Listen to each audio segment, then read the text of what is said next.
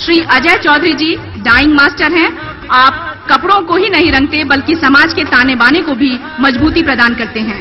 आप भारतीय जनता पार्टी के अन्य भाषा भाषी प्रकोष्ठ के संयोजक हैं। श्री अजय चौधरी जी, स्वागत भाषण के लिए। गौरव भारत माता की, भारत माता की। गुजरात और विकास को पर्यावाजी बनाने वाले पूरे भारतवर्ष के हृदय सम्राट माननीय मुख्यमंत्री जी,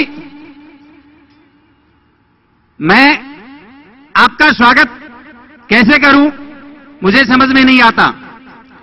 लेकिन दो पंक्ति उठा धरा से पहुँच शिखर, उठा धरा से पहुँच शिखर आकाश बन गया धरा देखती रही, पुत्र इतिहास बन गया। बिहार से पधारे हुए माननीय स्वास्थ्य मंत्री श्री अश्विनी चौबे जी, भारतीय जनता पार्टी पार्टी की राष्ट्रीय प्रवक्ता श्रीमती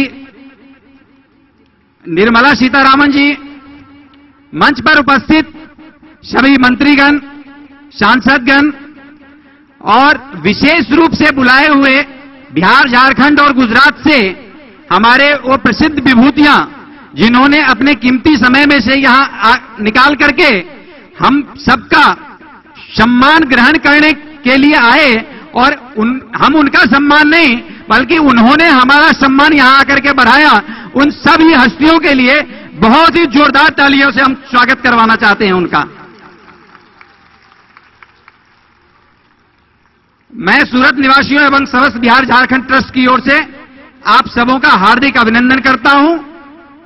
साथ ही आदरणीय मुख्यमंत्री जी से यह कहना चाहता हूँ कि आप सिर्फ़ छह करोड़ गुजरातियों के साथ साथ साढ़े तेरह करोड़ बिहार और झारखंड वासियों के हृदय में उसी तरह से विराजते हैं जैसे आप छह करोड़ गुजरातियों के हृदय में विराजते जोरदार हैं। ताली बजाइए आप लोग इस बात के लिए जोरदार ताली बजाइए बिहार के भाइयों।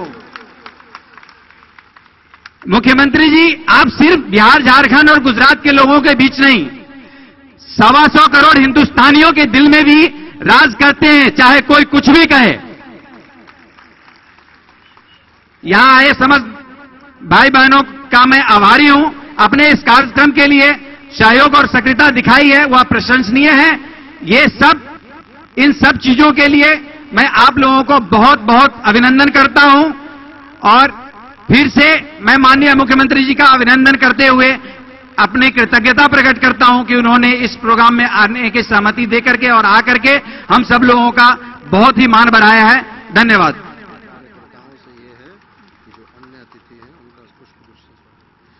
संस्था के कार्यकर्ताओं से अनुरोध है कि वो अन्य अतिथियों का भी स्वागत करें।